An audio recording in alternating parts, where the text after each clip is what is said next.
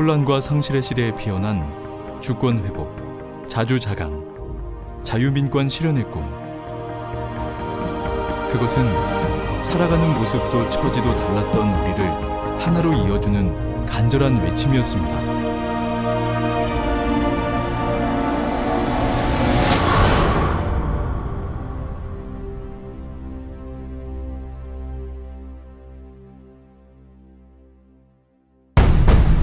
가진 것 없는 민족에게 반강제적으로 쥐어진 1300만 원의 빚.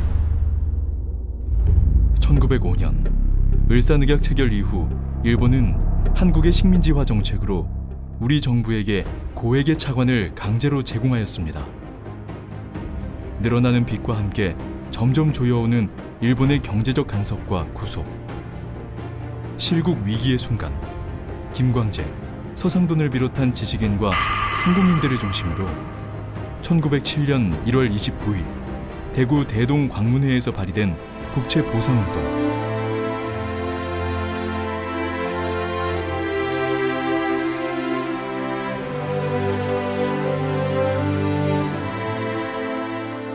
이들은 금연 운동을 통해 1300만 원에 달하는 일본의 빚을 갚자고 제안했고 그해 2월 21일 대구 서문시장 밖 국후정에서 국채보상문 취지서 낭독을 시작으로 국권 회복을 위한 도전은 시작되었습니다. 평범한 서민부터 거린의 백점, 나무꾼과 채소 장수 등 술과 담배를 끊고 기부운동에 동참한 남성들과 각종 폐물을 팔고 아껴온 생활비를 보탠 여성들까지 특히 부녀자들의 자발적인 동참은 대구에서 시작된 부인회가 전국으로 퍼지는데 이바지하였습니다. 이는 조국의 주권 회복을 위해 자발적으로 일어난 비폭력 저항 운동으로 전 국민이 하나 되어 국가적 위기를 극복하려는 구국 운동으로 승화되었습니다. 일제의 탄압 속에 좌절되어 버린 국채 보상 운동. 비록 목표를 이루지 못했지만 우리는 보았습니다. 암흑의 시대를 살아가던 사람들이 염원했던 조국 독립의 뜻과 희망을 운동의 중심에는 국민 그리고 언론이 있었습니다.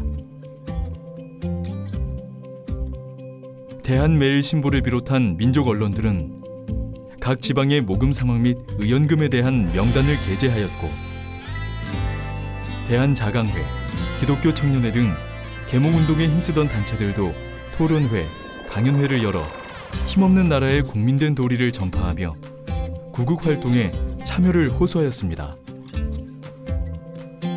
대구에서 시작된 이 금연 캠페인이 전국적인 나라 살리기 운동으로 발전할 수 있었던 것은 민족 신문들과 애국 계몽 단체들의 열띤 호응과 지원 덕분이었습니다. 국제보상 운동은 당시 일제의 억압 속 경제적 독립을 위해 공동체적인 모금 운동과 저널리즘이 결합되어 만들어진 한국 최초의 언론 캠페인으로 볼 수 있습니다. 국가의 악성 외채를 국민의 책임으로 갚겠다는 이 운동은 세계적으로도 그 유래를 찾기가 어렵습니다.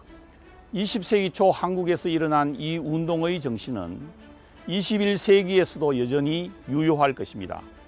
부채의 늪에 빠진 세계 경제에 새로운 질서를 제시하는 시대 정신이 될 수 있기 때문입니다. 한국 최초의 전국적 기부운동이자 최초의 전국적 여성운동, 최초의 언론 캠페인, 그리고 최초의 학생운동 등 국민의 도리를 일깨운 동시에 한국 시민운동의 밑바탕이 된 국채보상운동. 이렇게 싹 틔운 국민의 책임의식은 이후에 물산 장려 운동의 기반이 되었고 1997년 한국의 외환 위기 당시 금모으기 운동을 통해 제2의 국채 보상 운동으로 재현되기도 하였습니다.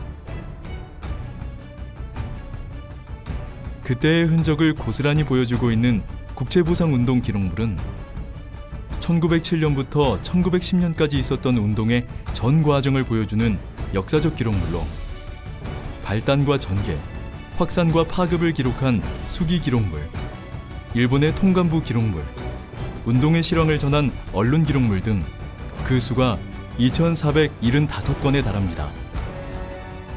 이는 전 국민적 기부운동의 전개 과정이 기록된 매우 독특한 역사적 자료인 동시에 동아시아의 근대화 형성 과정에서 이루어진 국민적 책임 의식, 평화 사상의 전개 과정을 담은 기록물로 세계적으로도 그 의미가 매우 큽니다. 국채보상운동은 대한민국의 나라 살리기 운동이었지만 조금만 시선을 돌리면 우리에게 새로운 의미로 다가옵니다. 부채의 늪에 빠져버린 21세기 세계 경제. 풍요가 넘쳐나는 강대국과 가난과 질병이 대물림되는 약소국 간의 격차. 이런 상황에서 마주하는 국채보상운동 정신은 개인주의적이고 시장 만능주의적인 세계 질서를 극복하고 책임을 통해 세계 시민과 함께 공생할 수 있다는 교훈을 전하고 있습니다. 21세기 새로운 세계 시민 정신의 원점에 국채보상운동 정신과 그 기록물이 빛을 발하고 있으며 이에 국채보상운동은 인류의 유산으로서 세계 시민 사회와 공유할 가치가 있는 소중한 우리의 신념입니다.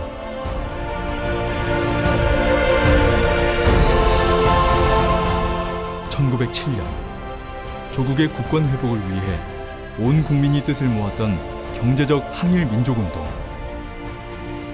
국민적 책임을 의무로 여겼던 책임 실천 운동이며 오늘날 세계 시민 사회에 필요한 책임 사회의 근간이 되었습니다.